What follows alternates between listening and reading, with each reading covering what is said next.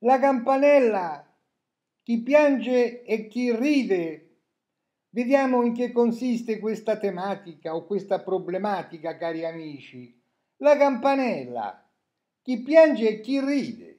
Sì, mostro questa cartolina perché ora questo ebook che è da circa un anno sulla, sui web store in lingua italiana ora è sul web store mondiale in lingua inglese, in lingua inglese, va bene? Per cui lo possono leggere in tutto il mondo finalmente. Beh, ma vediamo in che consiste questa tematica, questa problematica. Il fatto è che io questa mattina, come tutte le mattine, ero al mio bar dei cinesi qua, nel mio paesello, al bar dei cinesi, ed ero lì molto presto, alle sette meno un quarto, sette meno un quarto, poi eh, a una certa ora, verso le 8 e un quarto, 8 e mezza, è arrivata la figlia della proprietaria. Io la proprietaria la chiamo la regina, è una cinese, eh? la, la chiamo la regina perché veramente ha un aspetto regale. È una donna di una bellezza incredibile questa regina.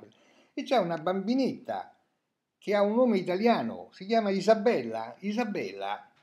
E a un certo punto alzo gli occhi dal PC e vedo che questa bambinetta che avrà 7-8 anni sta lì in un posto dove c'è anche il PC e vedo che, che questa bambinetta di 7-8 anni lavora sul PC e allora mi sono ricordato che adesso suonano, suonano le campanelle, no? Nelle varie regioni italiane, a seconda, la data cambia a seconda delle regioni. E gli ho detto, senti Isabella, quando, quando ci vai a scuola, cioè quando iniziano le scuole, e lei mi, mi dice iniziano venerdì, venerdì, mi pare che venerdì sia dopodomani, mi pare, oggi dovrebbe essere mercoledì se non vado errato, vabbè. E io le dico, le chiedo, senti Isabella, ma, ma allora se le scuole iniziano venerdì, a te ti viene da ridere o da piangere?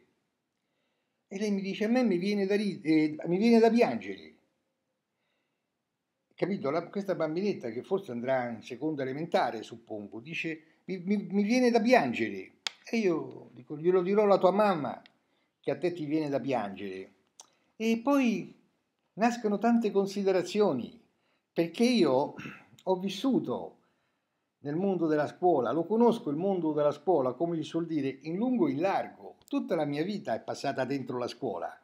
È passata dentro la scuola perché ho fatto, sono andato a scuola da bambino, ho fatto le scuole medie superiori, ho fatto le scuole medie superiori, ho fatto l'università. Poi dopo ho fatto i concorsi, e, fatto i concorsi, ho fatto anch'io il mio lungo periodo di precariato, poi a un certo punto ho vinto il concorso a cattedre e sono entrato di ruolo come, come professore di filosofia e storia nei licei, poi ho fatto un altro bel concorso e sono diventato preside di ruolo di licei, di licei. Nel frattempo io scrivevo anche tante belle cose e scrivevo proprio questi romanzi, vedete, li ho scritti quasi tutte, tutti questi romanzi lavorando di notte, lavorando di notte, perché io sono abituato a lavorare di notte Dopo vi spiegherò perché sono abituato a lavorare di notte, cari amici, vi spiegherò, vi spiegherò perché sono abituato a lavorare di notte. E allora lo conosco bene il mondo della scuola.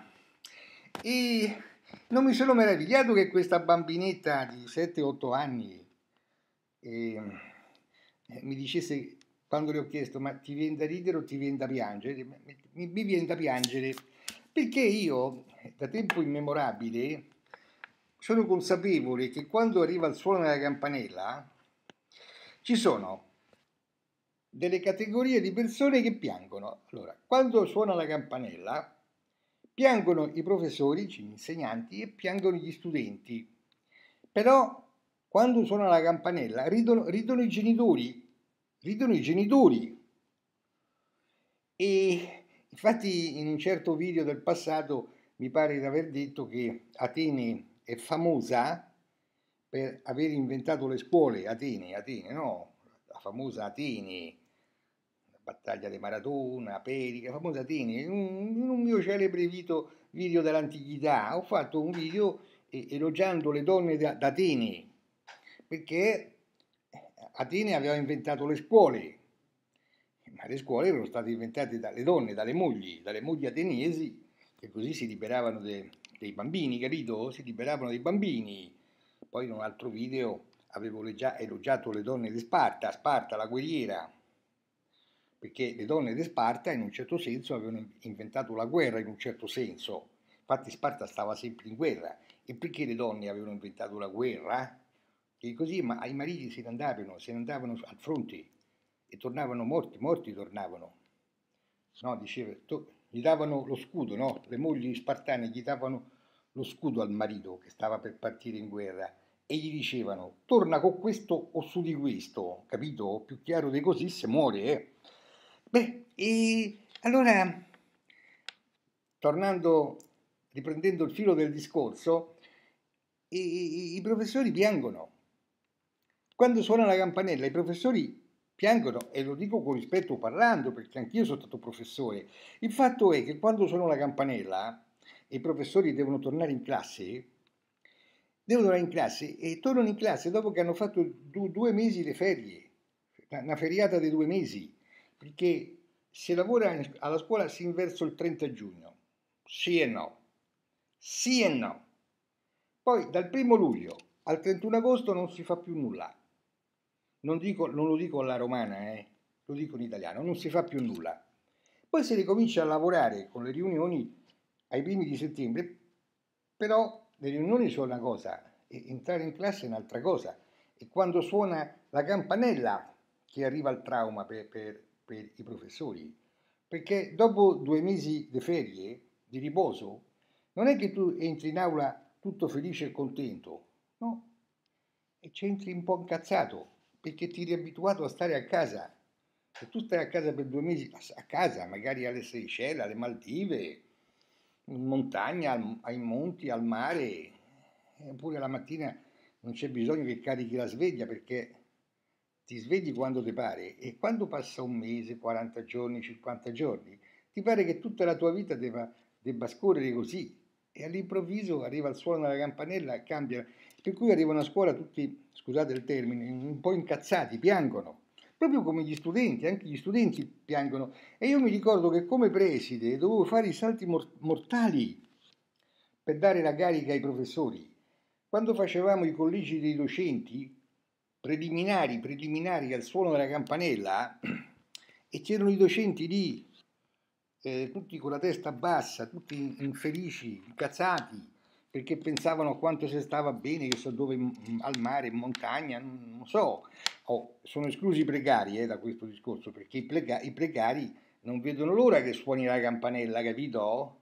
Però eh, io parlo della maggior parte dei docenti, parlo dei docenti di ruolo, quelli che hanno il posto fisso, il posto fisso, fisso, fisso, dove non vengono schiodati nemmeno da, da, da, da una guerra. Si sta tanto bene eh, col posto fisso, c'è la sicurezza per tutta la vita. Però non parlo quindi dei precari, eh, i precari sono tutti felici, ma sono pochi precari, felici e contenti quando sono alla campanella perché significa che hanno i soldi per mangiare. E quindi questi professori, io cercavo di raccontargli un po' di tutto a questi professori, Uh, quanti gliene raccontavo al collegio dei docenti per ravvivarli, per rallegrarli. E tante cose le ho, già, le ho già raccontate in questa web TV on demand. Eh, spiegavo loro che cosa vogliono le donne, no? perché Sigmund Freud non era mai riuscito a rispondere alla domanda che cosa vogliono le donne. Io sì, io lo spiegavo. C'è un mio video intitolato Che cosa vogliono le donne e poi gli parlavo del mio passato giovanile, quando io dovetti mantenermi all'università facendo il fornaio. Ah, ecco, ecco perché sono abituato io a lavorare di notte, perché io facevo il fornaio, ma non il fornaio quello che lo vende il pane, quello che lo fa. È diverso farlo il pane dal venderlo. Il pane si fa di notte quando gli altri dormono, capito? E sì, per studiare, io, io per, per, poter studiare, per mantenermi all'università, ho fatto il fornaio per, Quattro annate, per quattro annate, cari amici, lavoravo, io lavoravo di notte e, e, e studiavo di giorno, per cui mi sono abituato fin da giovane a lavorare di notte, a lavorare di notte, e, e nonostante la, la, la, durezza della vita, la durezza della vita, di notte sono riuscito a scrivere quest'opera. Quest'opera invece questa l'ho scritta mentre sono in pensione e, e per cui ha, ha, fatto più strada, ha fatto più strada e adesso sta in, in, lingua inglese in tutto il mondo, capito? In tutto il mondo, cari amici. Beh, ecco la campanella, chi ride e chi piange. E gli unici che ridono sono i genitori. Sono i genitori perché, ale, ale, se la scuola durasse dalle 8 del mattino alle 8 di sera, alle 20 di sera, i genitori sarebbero ancora più contenti perché se fa fatica a crescere i figli, eh? È tanto dura, eh? eh magari è bello, è bello quando lo fai il bambino, quando lo concepisci. Dopo no, non è più tanto bello, capito? Non è più tanto bello, perché magari il tuo principino ti può procurare pure dei, dei, dei gravi dispiaceri, ti può procurare il tuo principino, vabbè, vabbè, meglio che qua mi fermo, ok? La campanella, chi piange e chi ride. Ok cari amici, grazie e a tutti voi tanti saluti da Serafino Massoni.